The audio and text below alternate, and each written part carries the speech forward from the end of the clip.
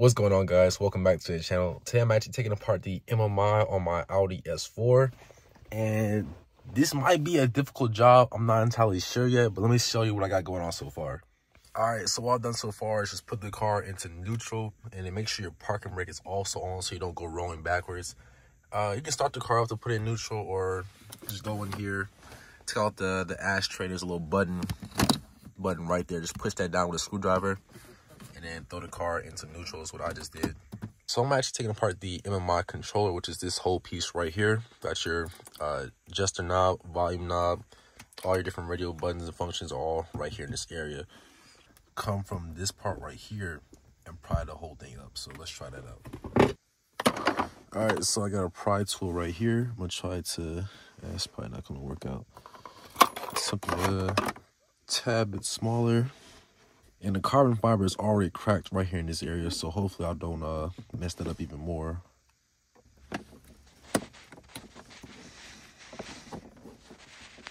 Yep. It's coming on up. There we go. Got that part popped out. And this should just lift right on out, so. And then watch out for the connections under here also. Got disconnect like two, three wires or so.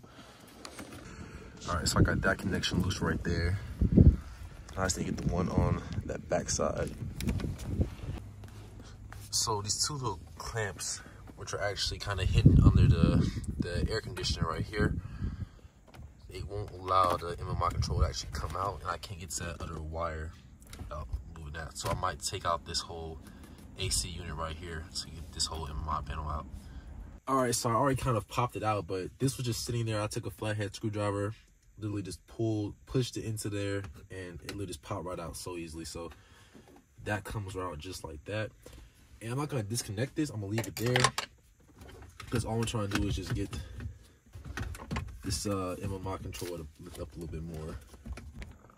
All right, so it's actually two more wires. So for this one right here is a little tab at the bottom simply push that up and it should pull right out. So make that real quick.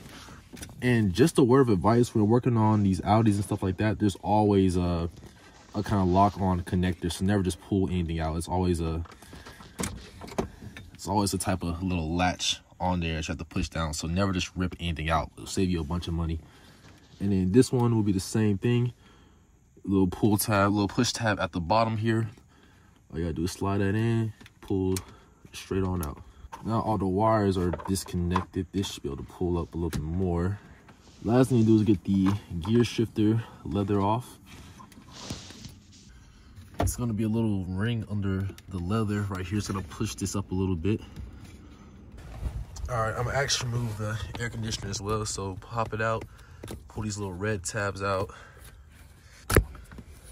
Yep, so two separate wires, one there, other one was kind of tight to get out, so I'm just gonna hang it on the side. So apparently you have to pop this little ring off right here with the flathead. So this should just, oh, sorry for the bad angle, but I'm gonna stick this flathead into the little clamp right here so I can just pop it off. Getting the uh, gear shifter off is by far the hardest part of this whole thing. All right, so I laid some vice grips on the other end of this right here so I can kind of get some more leverage to pop this little thing off right here. All right, so I just popped that little tab off right there with a flathead.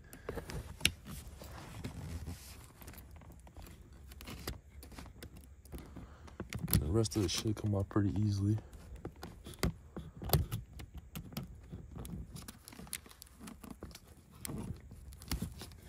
Just bend it out just like that so it comes all the way off.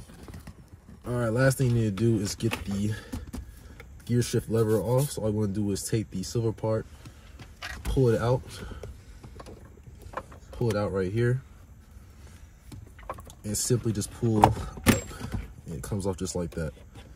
And what you don't want to do is don't let this slide back in or you can't put the gear shifter back on. So wherever that silver clamp went, what you can do is take your silver hose clamp, slide it under the silver lever so it won't slide back in and it should hold just like that All right, so now that I have everything taken out, I can pretty much tell that, yeah, something was definitely spilled inside of here. It's uh, very sticky. I'm gonna go ahead and clean this up. And the MMI controller is actually very sticky too. So hopefully if I clean this off, it'll be able to fix the, uh, the radio issue. If that doesn't work, I have another solution, last resort solution. Hopefully that works also. But uh, I'm gonna get this cleaned up and see what I can do with the MMI controller also.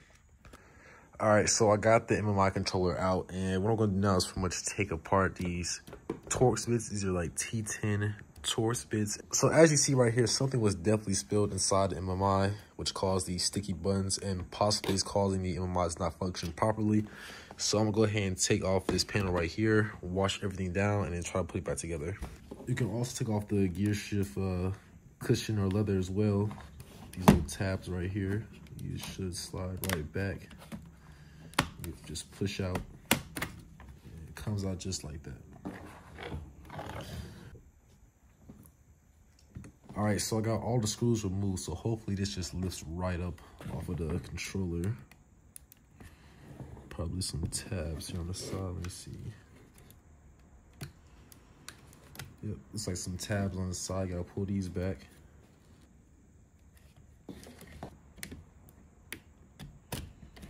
Yep. All right, that slides off just like that. And honestly, at first glance, it looked pretty rough, but now that I see the board completely, it doesn't look doesn't look that bad at all. Hopefully I didn't damage any of the components on this board.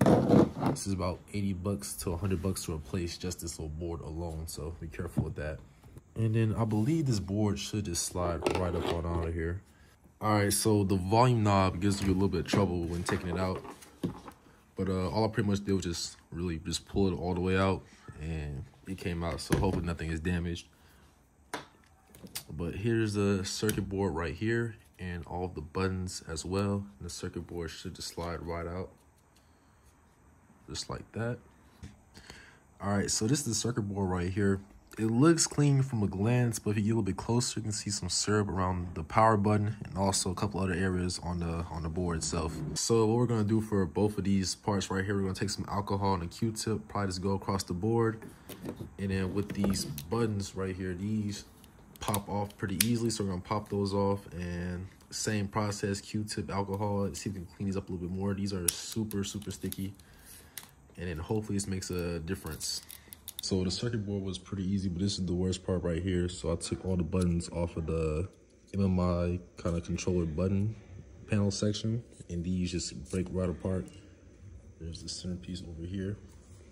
And I'm gonna take these buttons apart also, they're little caps on here. So I'm gonna clean all inside there and then put everything back together. All right, here's all the buttons cleaned up. Go ahead and put everything back together. All right, so I have the controller fully back together. I haven't put the volume knob on yet in case I have to take anything out. But I'm gonna go ahead and plug this back into the car and see if it has any function at all. And then if that works out or it doesn't, I'll go ahead and put the shifter back on and all the volume stuff and put it back together. All right, so I plugged in the controller wire, which is the one in the rear. I left the parking brake stuff off and the gear shifter stuff off. So let's see if this will actually light up and do something in. Yep, still nothing. Let me try hitting the power button. Parking brake malfunction because uh, it's, it's not plugged in right now. So I'm gonna go ahead and turn off and plug everything in see if anything changes.